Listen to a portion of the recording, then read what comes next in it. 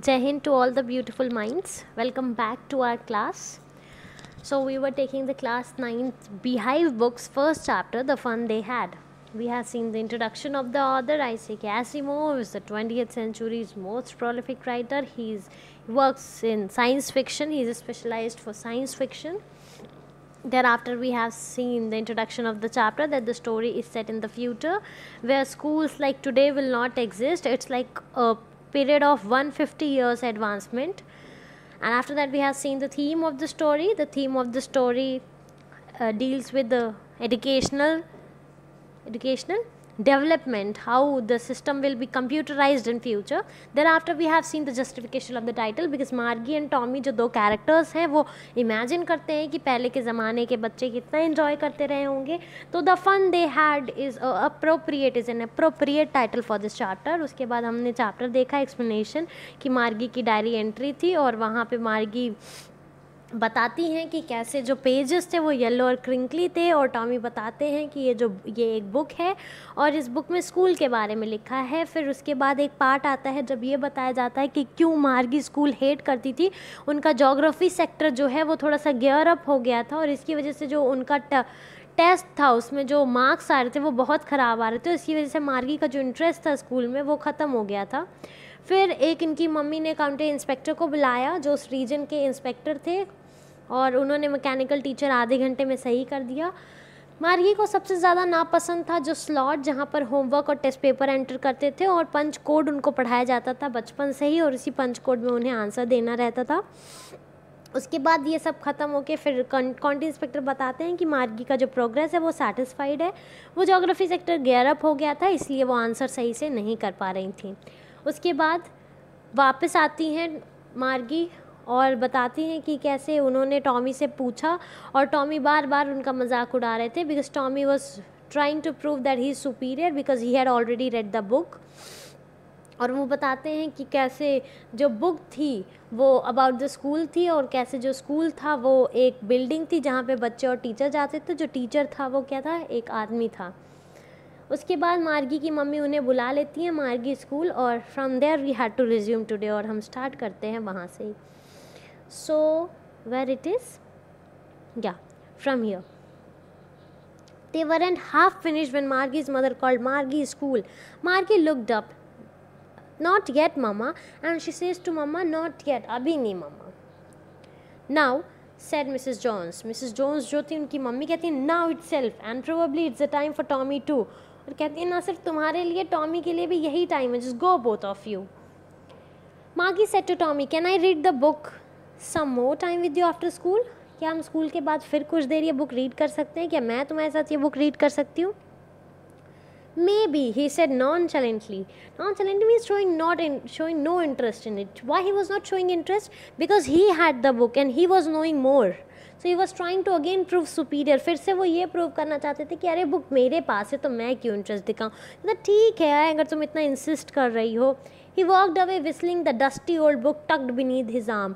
अब tuck beneath means वो tuck करके, वो पुट beneath his arms और arms के बीच में टक करके और उसको लेकर whistling, सीटी बजाते हुए बहुत ही अनइंटरेस्टिंग वे में कि मतलब careless he is not caring about Maggie and he went Maggie went to into the school room it was right next to her bedroom और मार्गी कहाँ जाती है? अपने स्कूल रूम में। इनका स्कूल रूम इनके घर में ही था और इनके बेडरूम के बगल वाला रूम था। And the mechanical teacher was on और जो बिग ब्लैक अगली स्क्रीन थी, वो ऑन थी और उसका वेट कर रही थी। It was always on on that very same time every day except Saturday and Sunday रोज़ वो सेम टाइम पे ऑन हो जाता था except Saturday and Sunday because her mother said little girls learn better if they learn at regular hours तो इनकी mummy का मानना था कि छोटे बच्चे सही लर्न करते हैं, ज़्यादा लर्न कर पाते हैं, अगर वो लोग एक फ़िक्स टाइम पर लर्न करते हैं, वरना स्कूल तो अपने घर में था, जब मन चाहे तब पढ़ते। The screen was lit up and it said today's arithmetic lesson is on the addition of proper fraction और आज इनका अरिथमेटिक का जो लेसन था, जो इनका कैलकुलेशन नंबर सिस्टम का जो लेसन था, वो किस पे था? एडिशन ऑफ़ प्रॉपर फ्रैक्शन जो proper fraction fractions you might have studied in your lower classes तो उसमें प्रॉपर फ्रैक्शन कौन से होते हैं? Today go and study that proper fraction and improper fraction basic things you people don't care about so proper fraction का जो addition था, उसके बारे में था. And the computer is also saying please insert yesterday is homework in the proper slot और yesterday का जो होमवर्क है, वो प्रॉपर स्लॉट में एंटर कर दीजिए मार्गी जी मार्गी डिड सो विद साय और मार्गी को बिल्कुल इंटरेस्ट नहीं था with sigh with sadness she inserted the homework she was thinking about the old school that they had when her grandfather's grandfather was a little boy वो सोच रही हैं, जब ग्रैंड फादर के ग्रैंड फादर एक छोटे बच्चे थे, उस टाइम जो स्कूल था, वो स्कूल कितना अच्छा था। All the kids from the whole neighbourhood came laughing and shouting in the school yard sitting together in the school room going home together at the end of the day और वो imagine करती है कि कितना अच्छा रहा होगा। School में सारे बच्चे एक साथ आते थे, एक साथ बैठते थे, फिर एक साथ छुट्टी में घर जाते थे। कितना इन्जॉयफुल रहा होगा वो डे कितना फ़नी रहा होगा। They learn the same thing so they could help one and other with the homework and talk about और क्योंकि सारे लोग सेम चीज़ पढ़ते थे तो वो लोग होमवर्क और लेसन डिस्कस भी कर सकते थे। And the teachers were people and she felt very happy wow the teachers were people at least जब मन नहीं होता होगा तो समझते तो होंगे, ना this robotic teacher don't understand any the mechanical teacher was flashing on the screen. When we add fractions 1 by 2 and 1 by 4 see, this is proper fraction. Improper fraction में numerator.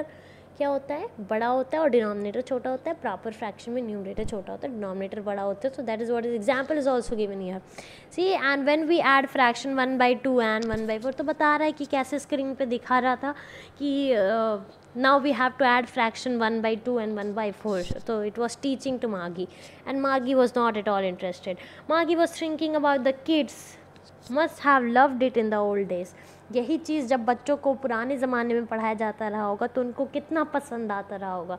She was thinking about the fun they had और वो पूरे time सोच रही थी कि बच्चों को कितना मज़ा आता रहा होगा। This was the title of the story is the fun they had let us revise so the what the chapter was chapter was the fun they had इसमें हमने देखा कि two thousand one hundred fifty seven के around की story set की गई है future में।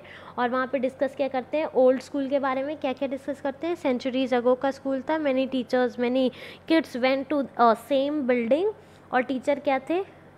क्या थे? मैन थे। मार्गी क्या इमेजिन करती है? मार्गी ओल्ड स्कूल के बारे में इमेजिन करती है कि everyone help each other walked together laugh together shouted together Margie की डायरी एंट्री में क्या था?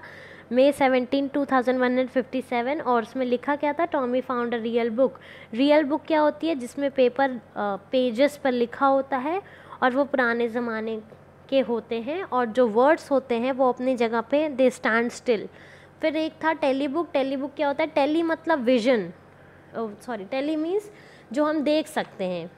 That is what we see how that we see and study so telebook क्या होता है? जिसमें देख कर हम पढ़ते हैं।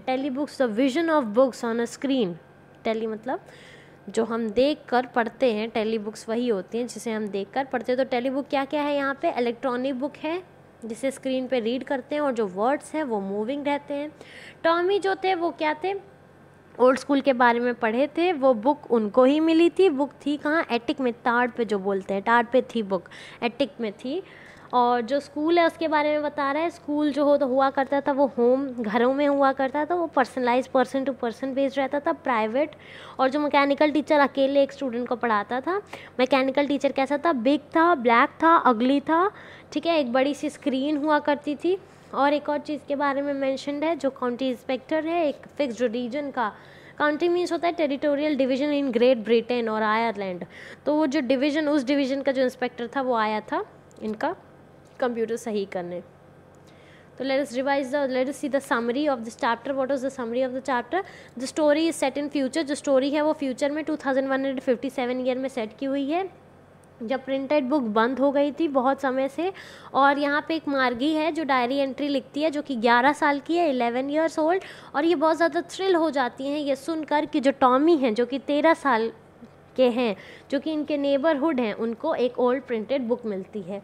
उन्होंने अपनी डायरी में डेट डाली और उसमें लिखा बहुत ही सरप्राइजिंग वे में Tommy found a real book और मार्गी को याद आता है कि उनके ग्रैंडफादर के ग्रैंडफादर ने भी बताया था कि जब वो छोटे बच्चे थे तो स्टोरीज पे, पेपर पे प्रिंट होती थी। लेकिन 2157 पे सिर्फ़ टेक्स्ट बुक रहती थी और जो टीचर था वो टेलीविज़न स्क्रीन था। टेलीविज़न स्क्रीन पे बहुत सारे मिलियंस ऑफ़ बुक्स थी और मार्गी और टॉमी के लिए बहुत अनयूजुअल था और फ़नी था कि जो बुक है वो कैसे है, एक पेज है। स्पेशली मार्गी के लिए तो ये बहुत अनयूजुअल था। टॉमी उस बुक के बारे में पढ़ चुके थे और बताते हैं कि वो बुक एक स्कूल के बारे में था। मार्गी को स्कूल नहीं पसंद है, फिर बताते हैं कि मार्गी को स्कूल क्यों नहीं पसंद है।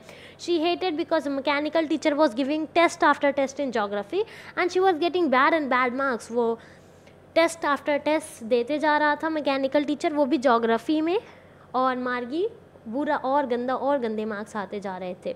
उनकी मम्मी बहुत वरीड थी और उनकी मम्मी को बिल्कुल अच्छा नहीं लग रहा था, इसलिए उन्होंने कांति इंस्पेक्टर को बुला लिया और सारे लेसन्स उसने चेक किए, मार्गी का होमवर्क और टेस्ट और फिर उनको पता चला कि जो जोग्राफी सेक्टर है वो थोड़ा गेयरअप हो गया था टू क्विक हो गया था स्टैंडर्डाइज हो गया था। उसको टेन ईयर लेवल का उन्होंने सेट किया। फिर मार्गी डिसअपॉइंटेड हो गई। उनको लगा था कि जैसे टॉमी के टीचर को ले गया गया था, क्योंकि टॉमी के टीचर का एक बार हिस्ट्री सेक्टर ब्लैंक आउट हो गया था तो अराउंड एक मंथ के लिए टॉमी के टीचर को ले जाया गया था। तो इनको ये उम्मीद थी कि इनके भी टीचर को ले जाया जाएगा, बट ऐसा कुछ नहीं हुआ, और इसकी वजह से वो बहुत दुखी थी। ठीक है? फिर उसके बाद इनका टॉमी से डिस्कशन होता था कि ये स्कूल किस बारे में, क्यों स्कूल के बारे में बात हो रही है? तो कहते हैं टॉमी बताते हैं कि स्कूल एक बिल्डिंग हुआ करता था जहाँ पे टीचर सॉरी पहले तो ये पूछता है टॉमी से पूछती हैं स्कूल तो कहते हैं, कैसे स्कूल तो बताती हैं existed centuries of years ago तो फिर कहती है कि क्या उनके कोई टीचर हुआ करते थे? तो वो बताते हैं कि वो एक आदमी हुआ करता था। तो फिर ये बहस करती हैं कि एक आदमी इतना स्मार्ट नहीं होता है। तो ये कहते हैं कि नहीं, मेरे पापा हैं, जितना मेरा टीचर स्मार्ट है। फिर ये सोचती हैं इस बात पे बहस ना कर कर, कहती हैं हाँ he knows almost as much हाँ वो जानते हैं I bet I know that I am sure that तुम्हारे पापा जानते हैं उतना. सेवन्थ पैराग्राफ में है ये लाइन फिर मार्गी उस बारे में डिस्प्यूट करने के लिए प्रिपेयर्ड नहीं थी तो फिर मार्गी दूसरा एक तर्क देती हैं कि मैं कभी नहीं चाहूँगी कि मेरे घर एक स्ट्रेंज आदमी आके मुझे पढ़ाए। तो टॉमी बहुत ज़ोर से हँसते हुए कहते हैं कि टीचर्स किस कहीं आते नहीं थे, किसी के घर जाते नहीं थे। वो एक स्पेशल बिल्डिंग हुआ करती थी और सारे बच्चे और टीचर वहाँ जाया करते थे। तो फिर मार्गी पूछते हैं, क्या सब लोग सेम चीज़ पढ़ते थे? तो ये कहते हैं कि हाँ अगर उनकी सेम एज है तो वो सेम चीज़ पढ़ा करते थे। सी here here. If they were of same age, they studied the same thing. तो मार्गी तुरंत कहती है कि ओ माय गॉड नहीं, मार्गी बार बार अपोज कर रही है तो टॉमी कहते हैं कि ठीक है, अगर तुम्हें नहीं पसंद है तो मत पढ़ो। तो मार्गी कहती, नहीं, ऐसा नहीं है, बिल्कुल नहीं है। I want to I didn't say I don't like it तब तक मार्गी की मम्मी बुला लेती हैं कि मार्गी स्कूल, और कहती हैं कि तुम आ जाओ। ये कहती है, नहीं, तुम, उनकी मम्मी कहती है, नहीं, तुम आओ। और ये टॉमी का भी टाइम है, टॉमी भी जाए स्कूल। तो फिर ये पूछती हैं can I read the book तो टॉमी बहुत ही केयरलेसली बोलते हैं हाँ ठीक है, पढ़ सकते हैं। फिर मार्गी अपने स्कूल रूम में चली जाती हैं, जो कि उनके बेडरूम के बगल था। और ये जो इनका मैकेनिकल टीचर है, वो डेली सेम टाइम पे ओपन हो जाता था except for Saturday and Sunday क्योंकि उनकी मम्मी को लगता था कि जो छोटे बच्चे होते हैं, वो अगर सेम रेगुलर आवर्स पे पढ़ें तो वो ज़्यादा अच्छे से पढ़ सकते हैं। उनकी स्क्रीन पे लाइट ऑन थी और उसमें लिखा था, आज का अर्थमेटिक लेसन है addition of improper fraction sorry proper fraction please insert yesterday's homework Margie किसी तरह से दुख में, मार्गी डिड सो विद साई मार्गी दुख में ये करती हैं और ये फिर भी बार बार क्या सोच रही हैं? उन्हीं बच्चों के, उन्हीं टीचर के बारे में जो उसी बिल्डिंग के बारे में जहाँ पे सारे बच्चे हर नेबरहुड से आते थे laughing shouting in the school yard सब एक साथ बैठते थे और छुट्टी में एक साथ वापस जाया करते थे। और क्योंकि वो सेम चीज़ पढ़ते थे तो वो एक दूसरे की हेल्प भी कर सकते थे। और सबसे बड़ी बात, जो टीचर थे, वो क्या थे? आदमी थे। मैकेनिकल टीचर ऑन होके बार बार फ्लैश कर रहा था when we add fractions one by two and और मार्गी पूरे टाइम क्या सोच रही थी? She was singing about the fun they had so this the summary of the chapter there are a few difficult word पहला word था virtual virtual मतलब जो रियल नहीं होता है रोबोटिक जो रोबोट क्रिंकली एक वर्ड था. क्रिंकली मैंने बताया था विद मैनी फोल्ड्स ऑफुली मतलब वेरी मच फनी मतलब अम्यूजिंग टर्न बैक मतलब वापस जाना. वेस्ट जो कि वर्थलेस हो. काम का नहीं. Telebooks the vision of books on a screen जहाँ पर हम एक स्क्रीन पर बुक्स देख सकते हैं। स्कॉनफुल, हेटफुल, एटिक और space just below the roof, ताड़ जिसे बोलते हैं, मैकेनिकल, जो मशीन से कनेक्टेड हो। सौरवफुली विथ सौरव दुख के साथ। काउंटी और territorial division in Great Britain और Ireland. Tools, instrument apart to separate. Slot, एक given space. Punch punch code मतलब पंच कोड वो सीक्रेट लैंग्वेज होती है। जैसे बार कोड होता है you can refer what is punch code geared up मतलब लिटिल स्टैंडर्डाइज हो गया था. देर आफ्टर सेंचुरी सेंचुरी मतलब time of one hundred years hurt means to feel bad regular means normal betcha एक word है B E T C H A it means bet you I am sure I bet you kids small children adjusted regulated tugged एक word tugged था tugged beneath his shoulder beneath his arms तो वो क्या tugged मतलब होता है? Folded उसके बाद एक वर्ड था nonchalantly means uninteresting way में. फिर insert means to put in neighbourhood जो आसपास के घर के लोग होते हैं फ्लैशिंग मतलब वो जो लाइट जलती बुझती है, वो फ्लैशिंग होता है। I hope you can go to the chapter, go through the chapter once, and if you have any doubt, you can ask. These are NCRT question answers. तो पहला क्वेश्चन है how old are Margie and Tommy Margie is eleven year old and Tommy is thirteen year old what did Margie write in her diary Margie wrote in her diary dated 17 May 2157. Today, Tommy found a real book. Had Margie ever seen a book before? Question number 3. No, Margie had never seen a printed book before. Question 4. What things about the book did she find strange क्या चीज़ें जो थी जो उनको अजीब लगी? पहला, कि जो प्रिंटेड पेजेस थे, उस पर जो वर्ड्स थे, वो अपनी जगह पे थे the printed book the words on the printed book stood still instead of moving पहला वर्ड दूसरा when they turn the previous page it had the same words on it as they as they have seen for the first time what is telebook what do you think is a telebook Telebook here refers to electronic book which can be read on a computer or any kind of screen. It moves on the screen with the help of electronic circuit. The software of the books is inserted in it. So this is telebook. Question 6. Where was Margie's school? Did she have any classmates? Margie's school was in her home next to her bedroom full stop because there's next question so you have to change the line and write the next answer did she have any classmates no she had no classmates what subjects did Margie and Tommy learn? See, we have seen uh, geography, history, and arithmetic is mentioned in the chapter, so we know only that.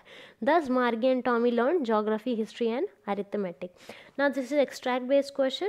ये chapter से एक line दी हुई है उससे पूछा है I wouldn't throw it away who says this word Tommy says this word What does it refer to it refers to their telebook वो कहते हैं ना कि कैसे अजीब लोग थे, ये लोग बुक पढ़ते थे और फिर फेंक देते थे।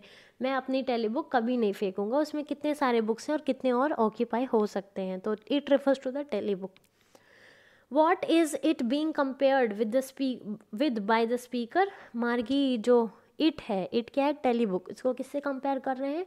इसको पिछले ज़माने की प्रिंटेड बुक से कंपेयर कर रहे हैं।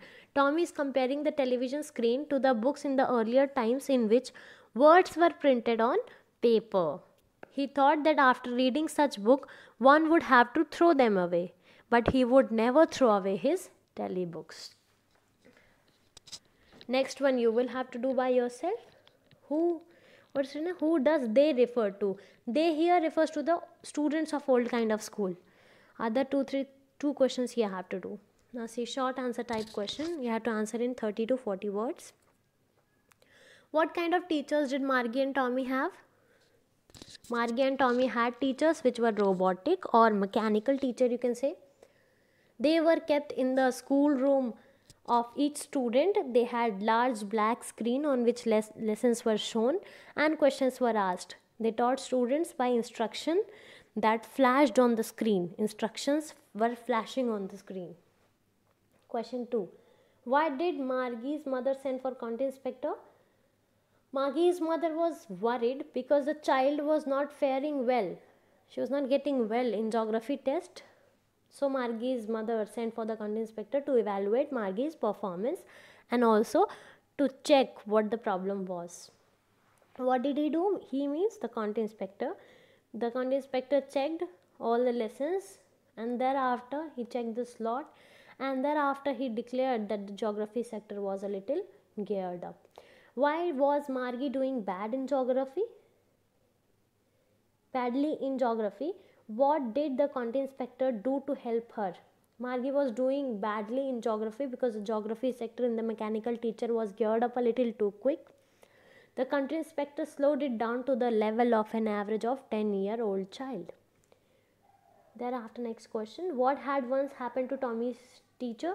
Once Tommy's history teacher had completely blanked out due to some defect. The screen showed nothing. So, Tommy's teacher was taken away for repair for about a month. Did Margie have regular days and hours for school? If so, yes. Yes, she had. Why? Because her mother thought that little girls would learn better if they learned at regular interval. Except for Saturday and Sunday, they have regular days and hours for, for their class. How does Tommy describe the old kind of school? Tommy describes the old kind of school with which existed centuries ago. He said the school then had a separate and special building, and all the children went there to study together. They all were taught by a human teacher. How does Tommy describe the old kind of teachers? Tommy described the old kind of teacher who were not like their mechanical teacher. They were real men who used to give homework to uh, children to teach them some. They taught them something. They gave them homework and asked question. These three things he told. Thereafter, long answer question. What are the main features of the mechanical teacher and schoolrooms that Margie and Tommy have in the story? In the story, we find that the teachers of Margie and Tommy are totally unlike teachers of today. First thing we see this. Second thing, they are not human beings. They are mechanical teacher. Third thing, they are there in schoolroom of each student. Every single student has a single teacher. the teacher teaches as per the student on television screens these are telebooks and lessons are tests are given there.